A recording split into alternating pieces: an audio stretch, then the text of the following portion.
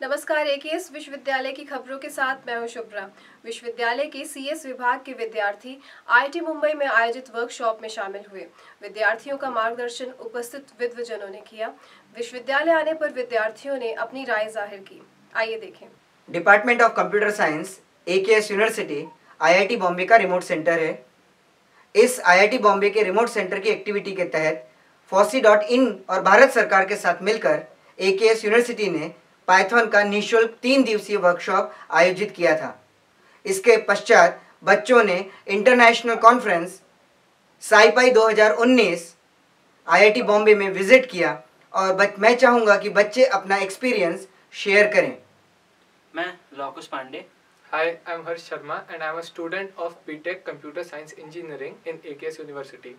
We, 20 students with 3 faculties, visited IIT Bombay recently in order to attend an international conference for scientific computing in Python.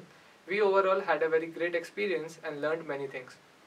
हाय मेरा नाम अभिजीत मिश्रा हमने different बारह take, latest technology पे workshop attend की जिसमें model से आए हुए मोजिला से आए हुए और फ्लिपकार्ट से आए हुए प्रोफेशनल से मुलाकात की।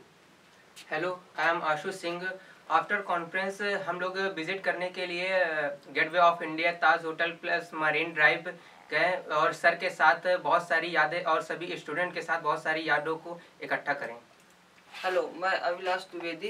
मैं भी इस यात्रा का साक्षी हूँ।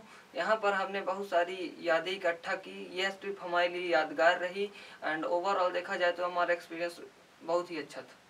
बच्चों को नवीनतम तकनीक सीखने का आईआईटी बॉम्बे का यह अनुभव बहुत ही यादगार रहा। आज की खबरों में फ़िलहाल इतना ही। नमस्कार। अगर आप रहना चाहते हैं विश्वविद्यालय की गतिविधियों से अपडेट तो हमारा चैनल सब्सक्राइब करें।